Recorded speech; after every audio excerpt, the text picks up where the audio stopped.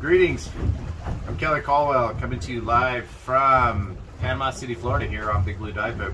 We're going to go uh, over a couple tips and tricks on how to don your equipment wearing a dry suit when you're diving uh, dual tank configuration.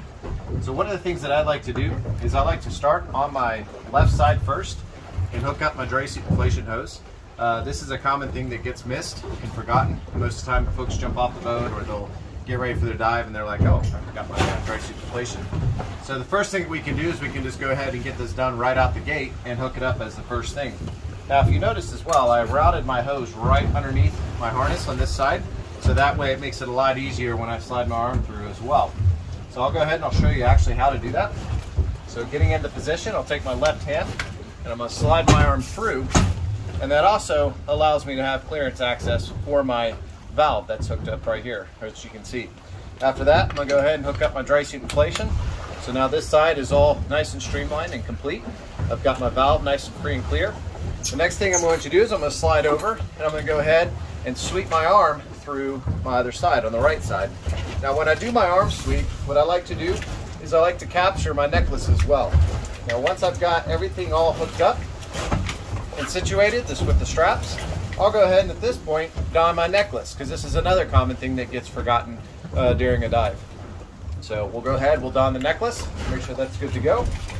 Now that I have my necklace in place, I've got my shoulder straps in place. At that point, I'm gonna come along to either side and I'm gonna grab my waist straps, bring those out in front of me, and then we'll go ahead and lace up the crotch strap. Now with regards to the crotch strap, I'll show you a little trick with what I like to do with that to keep that in place. So with the crotch strap, I've got a little bit of webbing remaining here on my buckle. So what I'll do is I'll lace that through and I'll actually hook the crotch strap in place. So at that point, I'm not having to chase it. Now another thing that I like to do is I like to go ahead and grab my canister light cord so this doesn't find its way into everything. And I go ahead and, and I'll stow that underneath to ensure that I've got both cords on the bottom side. After that, I'll go ahead and I'll lace up buckle that in place. The very last thing I'll do is I'll go ahead and grab my long hose.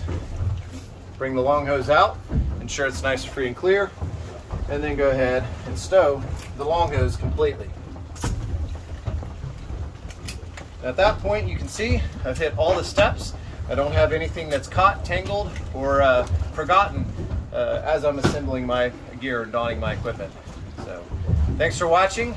Stay tuned to more GUE videos and we'll see you all soon.